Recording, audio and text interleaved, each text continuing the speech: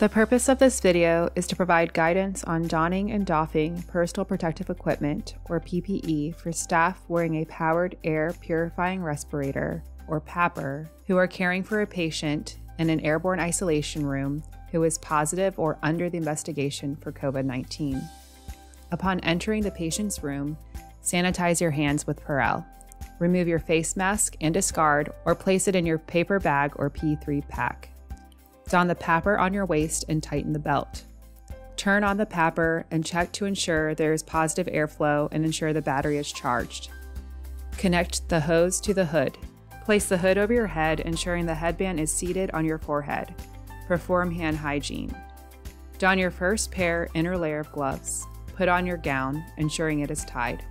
Finally, put on your outer gloves. You are now ready to enter the patient's room.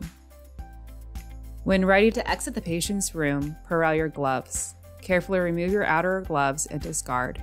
Carefully remove your gown. Purell your inner layer of gloves before leaving the patient's room. Outside the patient's room, Purell your inner gloves. Undo your PAPR hose from the hood. Unbuckle and turn off the PAPR, placing the unit in the designated dirty area. Remove your hood and place in the designated dirty area. Clean your PAPR pack and hood with the approved hospital disinfectant. Place the disinfected PAPR and hood in the designated clean area. Remove your inner gloves and perform hand hygiene. Don face mask.